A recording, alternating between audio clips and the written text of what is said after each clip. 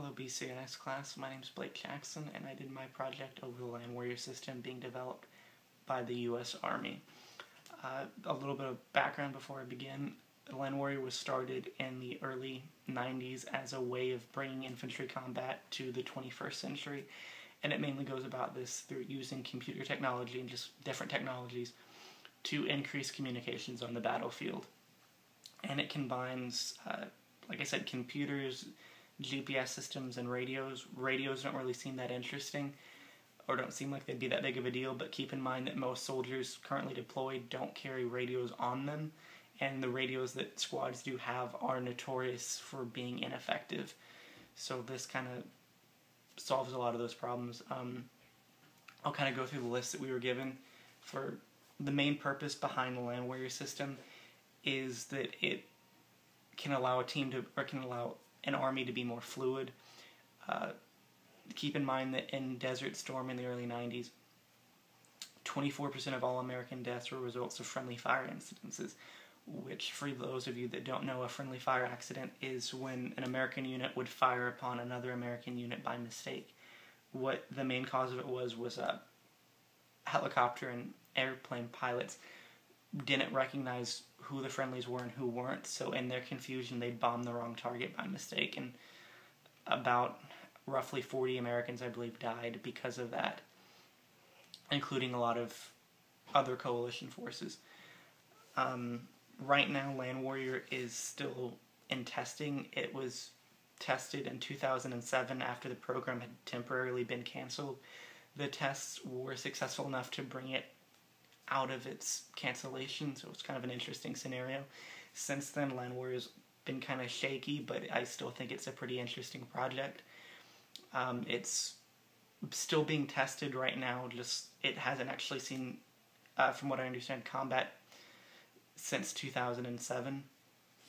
It's it was originally hoped to go full uh, full on active in 2010 with spiral upgrades every two years. Since then, it's it's still kind of shaky right now, but uh, basically, Land Warrior uses uh, a computer system embedded in the body armor that soldiers will actually wear.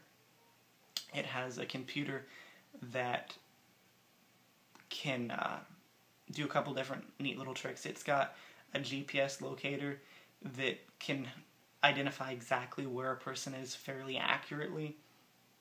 So you can see the actual GPS coordinates of every single soldier on the battlefield. That's the idea once it actually gets up and running and deployed. Um, it's got a one kilometer range radio. Um, a couple of the other little neat tricks that are a little bit further away but that are envisioned for the project is it'll have uh, basic vital stats for every soldier. So if a soldier's hit, you'd be able to tell loosely what was going on with him. So if a medic wasn't actually close, they might still be able to treat the soldier uh, wherever he is. Also, it would be able to monitor stats like heart rate and things like that. So you'd be able to tell if one of your soldiers was, you know, about to lose it or it, how morale was. So you'd be able to tell how stressed a combat unit is. So that can all that information can be given to the commanders who are miles away, and they'd be able to get much better situational awareness for what's actually going on at that specific moment in time. So it would be light years of what we currently use, which is basically radio systems. Additionally, Land Warrior would allow uh, GPS communicators in all planes, tanks, vehicles, every asset that we have, and every individual soldier that we have. So the commander would be able to see exactly where everyone is. Additionally, going back to the friendly fire incidences in Desert Storm, we'd be able to stop the vast majority of those from happening because the pilots would be able to see, you know, where in the tree line the Americans were and where the enemies were. Almost dropped my iPad. Um, right now, it costs about. I've seen different estimates, anywhere from twelve to thirty thousand dollars, to equip each soldier with Land Warrior. And if you consider, you know, how many millions of uh, servicemen we have against across all the different branches. It could be incredibly expensive to actually deploy Land Warrior. I'm now I've now moved on to the pros and cons of the system. Um, basically, the biggest con right now is price.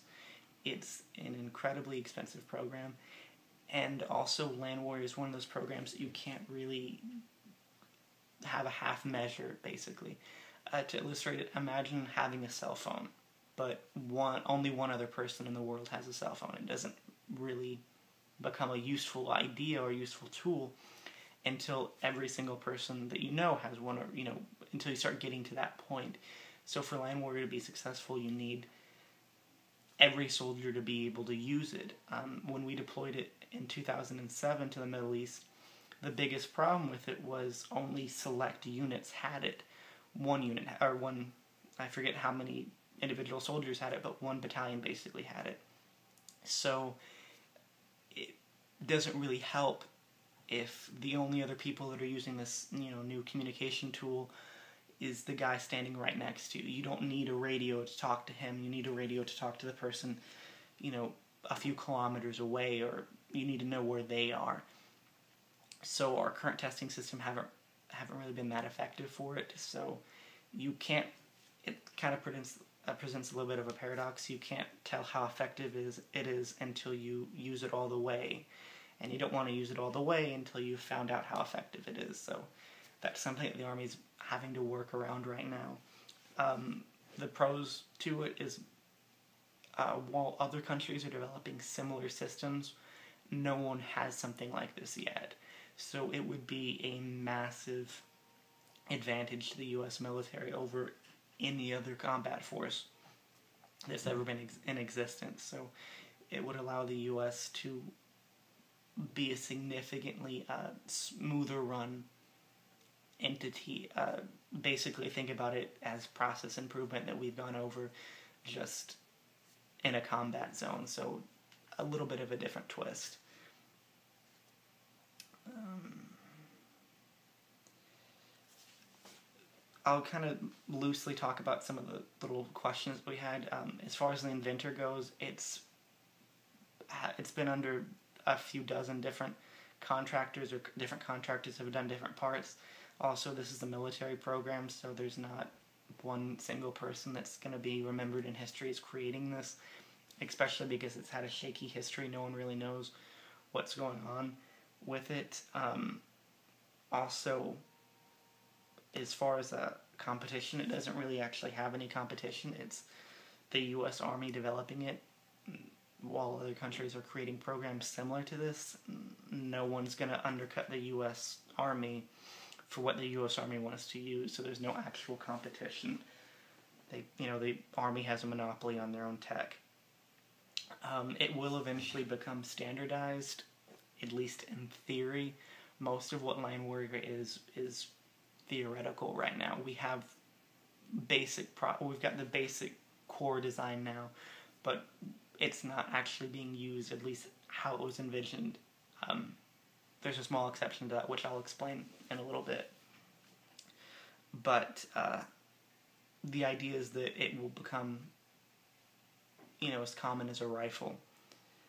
Um, actually, I guess I will talk about it now. Uh, we've used um, some of Land Warrior, at least Land Warrior style tools in our Stryker infantry fighting vehicles that uh, use some of the GPS systems to keep track of their soldiers when they're being deployed. So it's like Land Warrior, but it's not on the scale of Land Warrior. Um, basically, just the soldiers assigned to the infantry fighting vehicle, the Stryker, use the technology. So, once again, it's useful for them, but not really useful as the program was designed to work in mass. Um, part of Land Warrior, it was combined with the Future Warrior program, which in 2005 and Future Warrior was a little bit more, I guess, science fictiony, a little bit more futuristic. Um, these are some of the interesting components that they're talking about doing. Obviously, when I actually tell you what they are, you'll see that we are, you know, light years away from them. But they, the army is talking about um, having uh, kind of like exo exoskeleton suits that would basically um, increase the strength of the person that's wearing them by having mechanical joints mimic what the body's actually doing. So soldiers would be able to lift um, larger or lift heavier packs. They'd be able to run faster and run significantly farther on less energy because mechanics would basically be doing the actual running for the soldier.